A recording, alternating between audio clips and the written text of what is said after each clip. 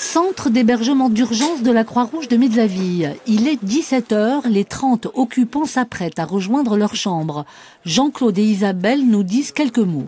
Moi je suis une femme, j'ai 48 ans, j'ai une fille de 28 ans, c'est la première fois que je me retrouve dans une situation à la Croix-Rouge, j'ai toujours eu des logements, mais c'est vrai que c'est très très très difficile de nos jours et moi je, je, je plains ceux qui sont dehors vraiment et qui s'alcoolisent pour oublier un petit peu tout, tout ça, quoi. Et c'est la société qui veut ça. Vous avez connu la rue? Jamais. Avant cette année, jamais, moi. Ah, moi, malheureusement, je peux vous dire que j'ai connu la rue, mais je l'ai connue en verte, en droit, en haut, en large, en travers, en tout ce que vous voulez. C'est terminé maintenant. C'est terminé, c'est terminé parce que moi, du principe que je suis ici, maintenant, le fait qu'on peut rester, on peut rester au mois, euh, ça veut dire qu'on n'a pas besoin de partir dehors, mm. dormir dehors, on est tout le temps là. Euh, ça nous, c'est déjà un, un, bien fou euh, pour, pour nous. Avant le centre, Isabelle dormait dans sa voiture. Tous deux espèrent maintenant des jours meilleurs.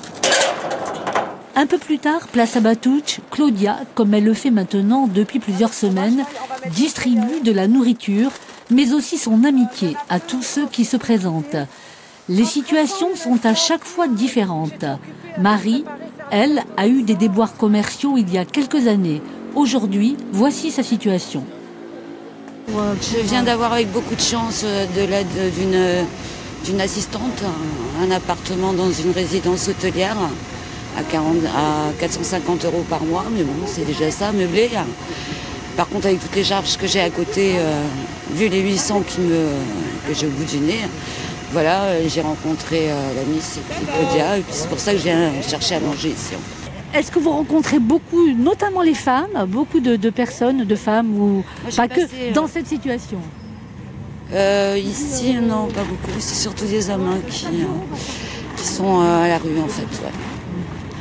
Mm. Mais moi, je l'ai été aussi hein, cet été. Hein. Voilà, c'est terminé. À quelques mètres, Vincent s'apprête, lui, à passer une nouvelle nuit dehors. je danse souvent sur les bancs, dans les entrées. Dans les entrées. On vous embête pas On vous laisse Non, non, non. Ici, ils sont gentils, franchement. C'est le matin qui fait très froid, surtout.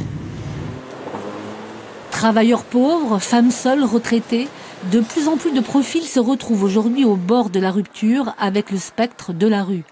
Du côté de la Croix-Rouge, qui ne peut que constater le manque de places d'hébergement, on tient à rappeler les services d'urgence mis à disposition. Euh, on a notre épicerie sociale, bien sûr. Euh, on livre des colis dans le rural. Euh, nous avons nos maraudes euh, qui sont en principe euh, tous les soirs, 7 jours sur 7, 365 jours par an. Nous avons depuis quelque temps une maraude médicalisée tous les jeudis soirs. mais toutes ces personnes qui vivent à la rue, elles n'ont pas la chance de pouvoir dormir au chaud tous les soirs.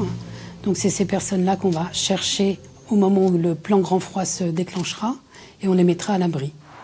C'est le gymnase du Pascal Rossigne qui, comme chaque année, ouvrira ses portes pour le plan grand froid, mais à la condition que les températures ressenties atteignent moins 5 degrés trois jours d'affilée.